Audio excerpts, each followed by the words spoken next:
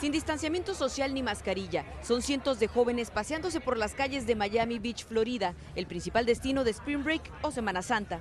Imágenes que levantan las alarmas por parte de autoridades que en el 2020 vieron una situación similar, seguida de una ola de contagios. Dar el permiso no significa regresar a la normalidad.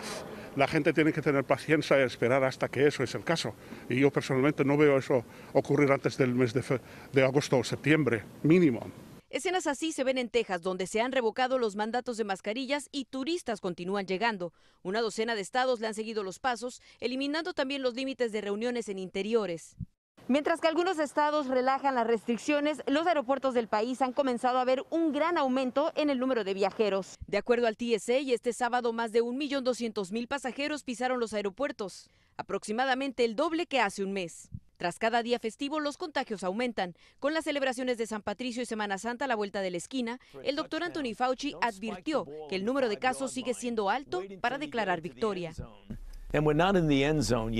Y es que el comportamiento en las próximas semanas es crucial. Eso lo saben quienes han perdido un familiar tras una celebración.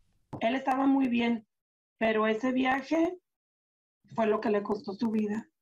Luego de haberse resguardado durante toda la pandemia, el padre de Cintia celebró en una reunión el fin de año, se contagió y falleció. Por ello, su hija pide mesura a la población. Tomen conciencia y es la decisión de cada persona asistir y si asisten, por favor, tengan cuidado. En Los Ángeles, Carla Mesola, Noticias Telemundo.